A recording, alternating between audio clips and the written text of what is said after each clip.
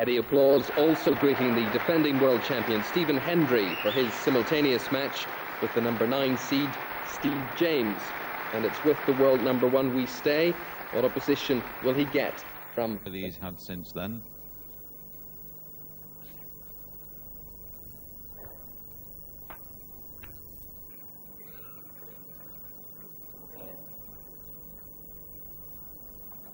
Well, that was a nice shot you played there. Six. He's got an easy red into the middle, which I think is the, the correct ball to play. Just come back for the black.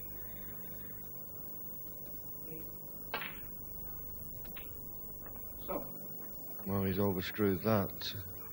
And the problem is that in potting the black, the black's going to be tied up and not available in either pocket. So he's, in potting the black, he's going to have to play for the red closest to the left corner pocket. At least that will give one pocket the black will go in. But he needs to score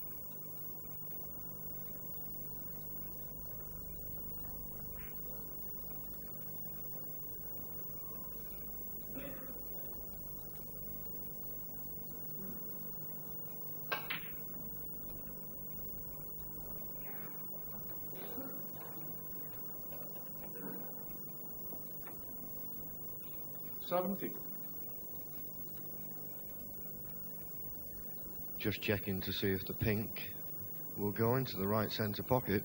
If it does, it's quite a simple positional shot off this red. Obviously it does go. 80. Not certain where the pink will go after it's potted.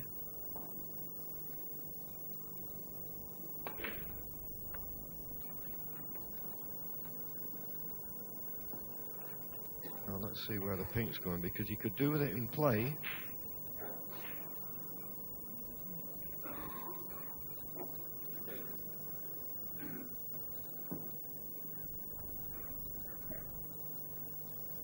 In A direct line with its own spot on the middle of the top cushion. Steve James just waiting to see whether it's possible, and I would say it is.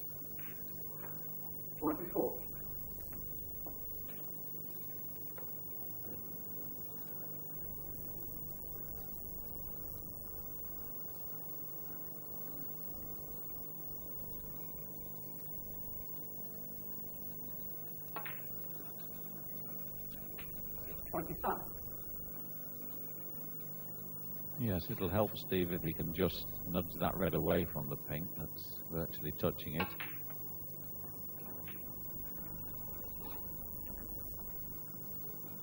Still got one to the left corner. But he would help uh, referee Bruce Duncan as well if he'd have moved the red. It made his job a little easier as well.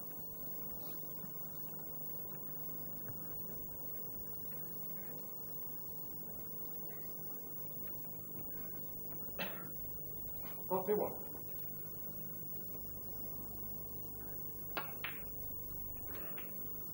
Topic 2.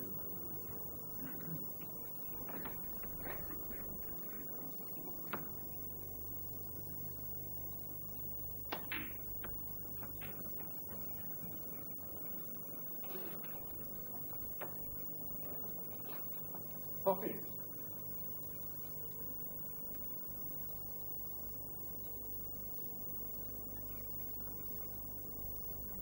Slightly awkward cueing. The red is hampered over here. In actual fact, is available in the right centre.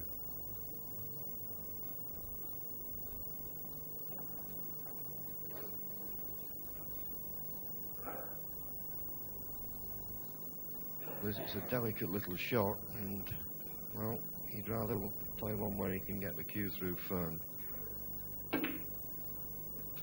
Problem over. Great chance to win the frame now at this visit.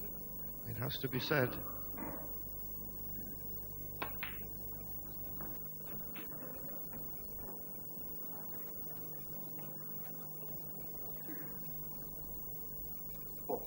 Yes, he's got the angle to drop on the black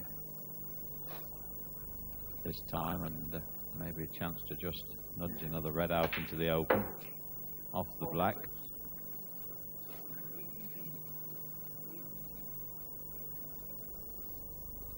Hasn't quite come perhaps as far as he would have liked, but uh, he still should knock this in.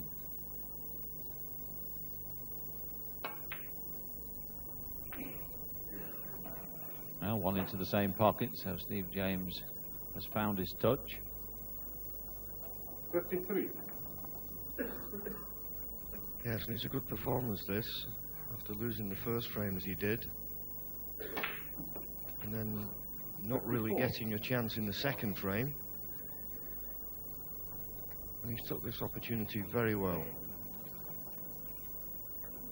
He's looking for the black and one more red to leave Stephen Hendry needing snookers.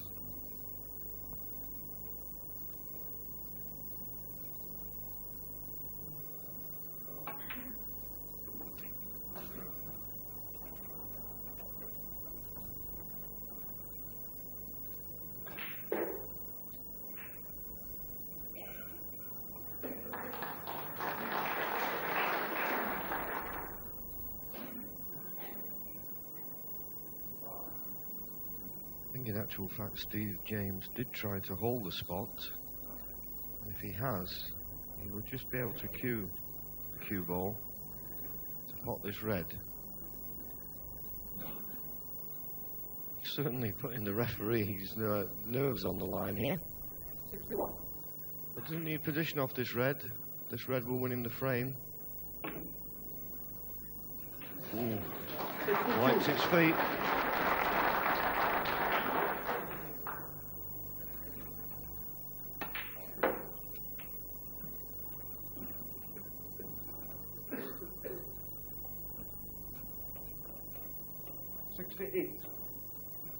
Afford to relax a little now and try and build a sizable break.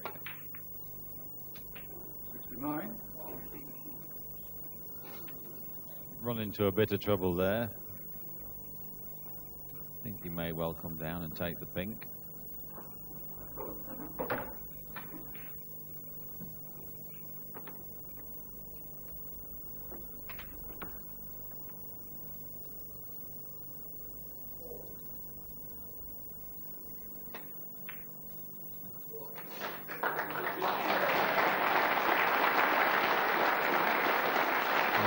Terrific shot. 75. And what a good confidence booster this will be for Steve.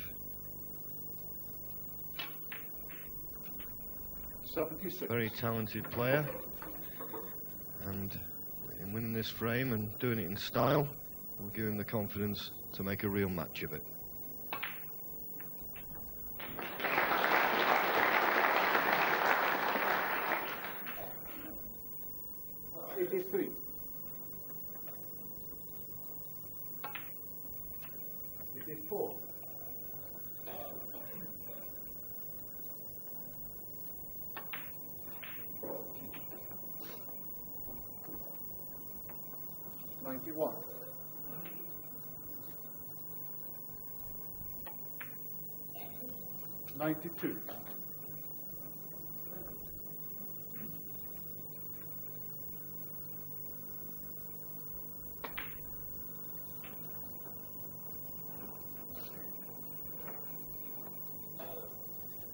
Ninety-nine.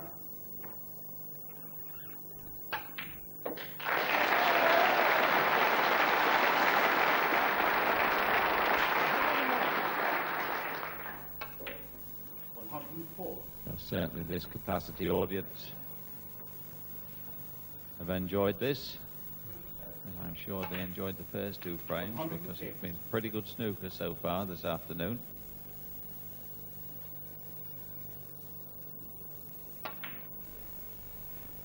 One hundred and fifteen. And excused Steve James for being uh, perhaps a little bit down after losing the first frame. It looks as if he had it won, but uh, he's here to win this championship. So that's a great break of 126 by Steve James. Opens the count. He trails at two frames to one. Three, four. Steve James. Seven. Stephen can force the Reds open off this shot.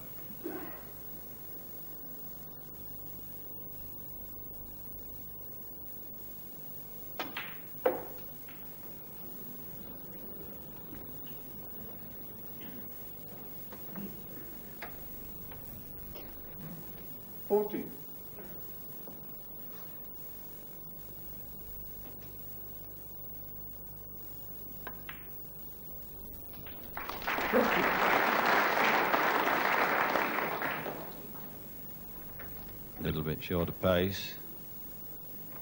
This by no means easy.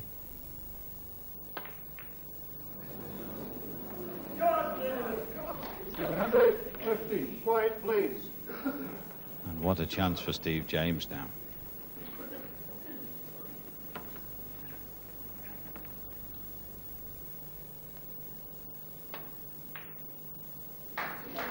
One.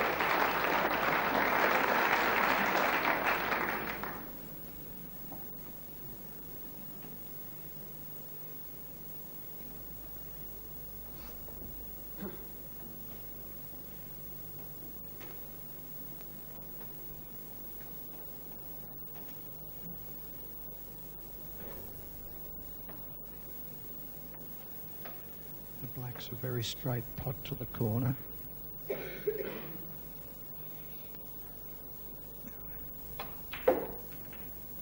Content to play onto a red to the middle pocket. Eight.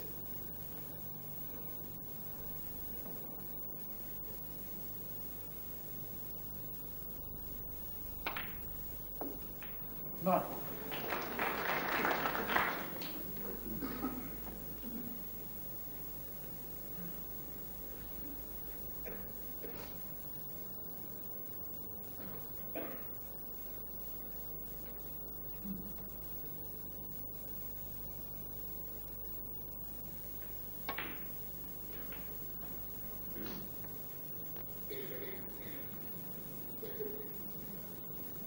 Sixteen. That's about as bad as it could have finished. This is a nasty shot to have to play. But uh, Steve James now believes he can win this match, and I'm beginning to think Stephen Hendry does as well.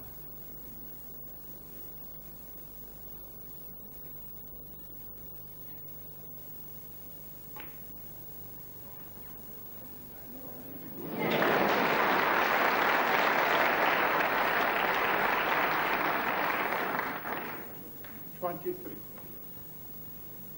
And Steve's run pretty well out of position now. He may take a, a red on. Any pot that he takes on from here is certainly not easy.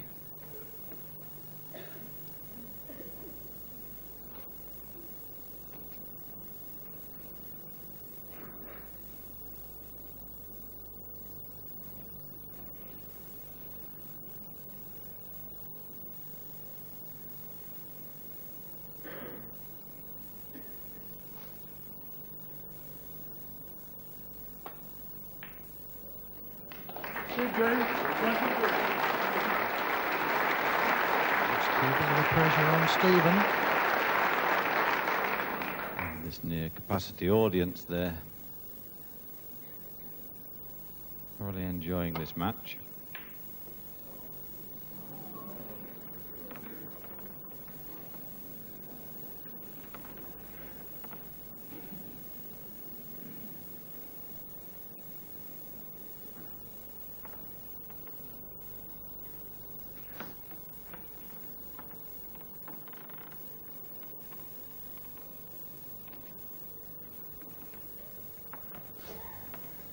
Still plenty of points on the table for Stephen Hendry to get back into this frame, so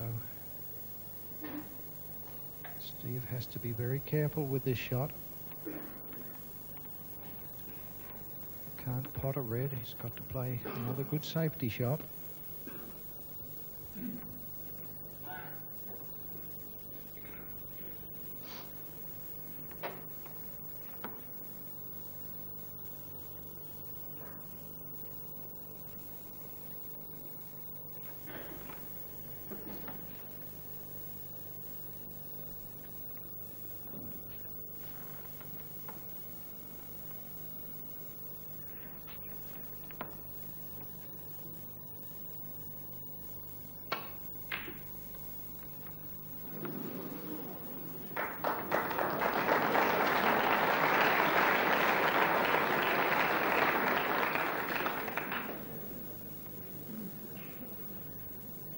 Attempting to send the black ball to the far end of the table. Almost went in the centre pocket.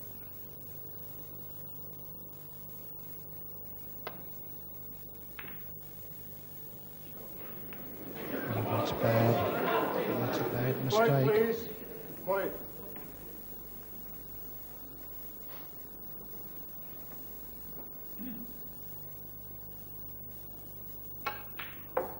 One.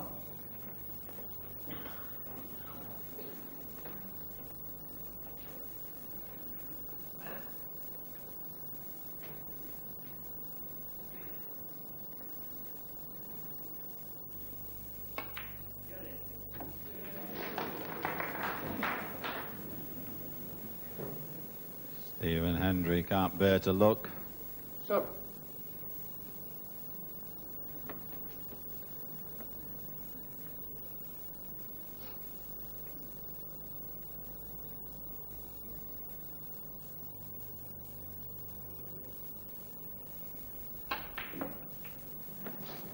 Eight.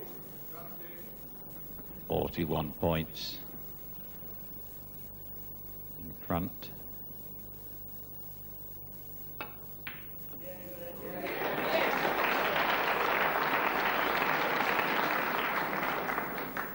And the next red Fourteen. should seal it for him.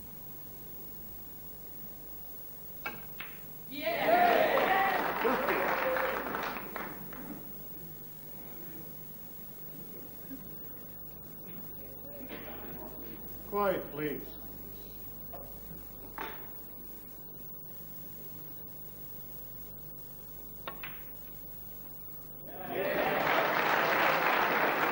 And Steve James has played with the maturity and some very good tactical play in the last couple of frames.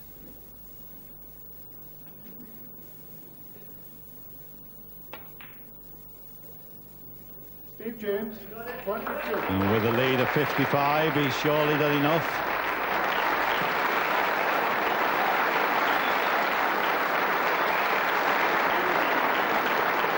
Just look where the cue ball's finished.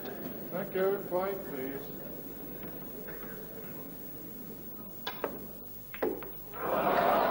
Yes, Stephen Hendry concedes and a magnificent match He's won by Steve James by 13 frames to 11.